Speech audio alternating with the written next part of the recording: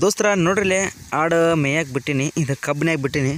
ಇಲ್ಲಿ ಒಂದು ಆಡಿನ ಸಮಸ್ಯೆ ಏನಪ್ಪ ಅಂತಂದ್ರೆ, ಆಡು ಮಾತ್ರ ಸಿಕ್ಕಾಪಟ್ಟೆ ಪ್ರಾಬ್ಲಮ್ ಕೊಡ್ತಾರೆ ರೀ ಆಡು ಕಾಯಕ್ಕಂತರೂ ಭಯಂಕರ ಹಿಂಸೆ ಆಗುತ್ತೆ. ಯಾಕಂದರೆ ಇವು ಅಲ್ಲಿ ತಿರುಗಾಡ್ಬೇಕಲ್ಲ ಹೊರಗೆ. ಒಂದು ಕಡೆ ಮೇಯಂಗಿಲ್ಲ, ಒಂದು ಆಡು ಐತಪ್ಪ ನಮ್ದು ಅಲ್ಲಿ, ಒಂದು ಬಿಳಿ ಆಡು ಕಾಣ್ತೈತೆ ನೋಡ್ರಿ ಮುಂದೆ ಐತೆ ನೋಡ್ರಿ ಅದು. ಎಲ್ಲ ಆಡನ್ನ ಕರ್ಕೊಂಡು ಎದ್ದು ಅನಾವತ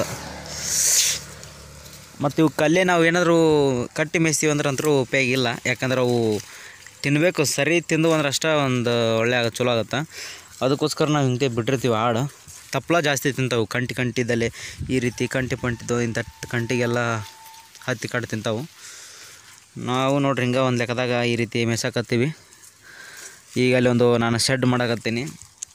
ಅಡಿಗೆ ಟಗರು ಮರಿಗೆ ಅಂತೇಳಿ ಶೆಡ್ ಆಗಿಂದ ಇವನ್ನೆಲ್ಲ ಅಲ್ಲಿಗೆ ಶಿಫ್ಟ್ ಮಾಡಬೇಕು. ಶಿಫ್ಟ್ ಮಾಡ್ಬೇಕು, ಆಡು ಮಾತ್ರ ಹೊರಗೆ ಬಿಡಬೇಕು. ಹೊರಗೆ ಬಿಟ್ಟೆ ಮೇಯಿಸ್ತೀನಿ ಇವನ್ನ. ಕೊ, ಟಗರ್ ಮರಿ ಒಂದಿಷ್ಟು ಸ್ವಲ್ಪ ತೊಗೊಂಡು ಭಾಳ ತೊಗೊಳಂಗಿಲ್ಲ, ಸ್ವಲ್ಪ ತೊಗೊಂಡು ಅವನು ಕೂಡ ಅಲ್ಲೇ ಕಟ್ಟಿ ಕಾಡ ಸ್ವಲ್ಪ ಹೊಟ್ಟೆ ಗಿಟ್ಟು ಹಾಕಿ ಅಲ್ಲಿ ಮೇಯಿಸ್ಬೇಕಂತ ಮಾಡೀನಿ.